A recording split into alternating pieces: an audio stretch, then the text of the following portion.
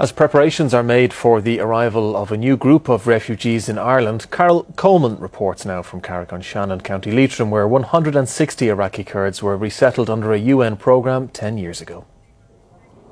Carrick Library, and among the Cathy Kellys and Maeve Binchys, is a shelf of Kurdish books.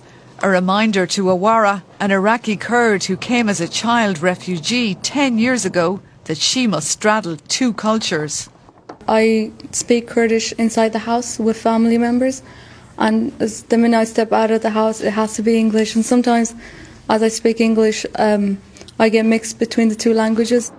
Although Carrick and Shannon is multicultural, it was a big challenge to assimilate 13 families who arrived with nothing. I think it was important to have a coordinated response locally. Um, to look at issues such as housing, to look at issues such as health and education as well. Inside Jabbar Azizi's home, extended family gather to watch a video of the day they left the windy camp in Jordan. Having been displaced their entire lives, they know what refugees yet to come to Ireland have been through. Now the pain they're feeling to leave their homeland for a safe place or safe thing, I could feel that pain because I was the same when I left my homeland. I had no choice to leave it, you know. I have to leave it or I would die. Since settling here, relatives and boyfriends have joined them.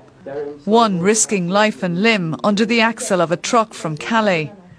Another, a Kurdish Peshmerga fighter, just arrived from battling ISIS in Iraq.